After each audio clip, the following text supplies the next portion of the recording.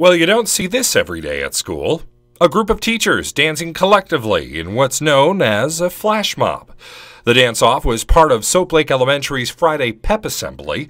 Kids filing into the gym had no idea what was about to unfold in front of them, and when it did, they danced along.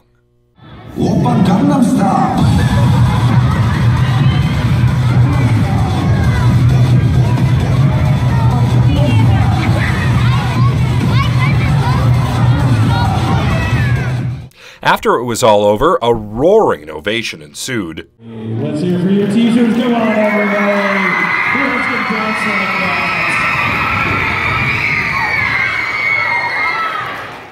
Most of the teachers lacked dance skills prior to Friday, but a little rehearsal made the difference. I've never danced those kind of dances before, but while we were practicing with the other um, colleagues, then um, it was fun and exciting. And when we asked the kids what they thought, So, what do you guys think of your teachers dancing? Was it cool to see?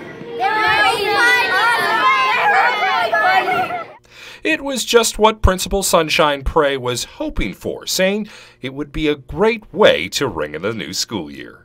Spent a lot of time this this last summer talking about relationships with kids and we know that if we want to get more work out of our kids we have to have a good relationship with them and stop and actually play with them and have fun so that's where this came from I'm Sean Goggins for iFiber One News.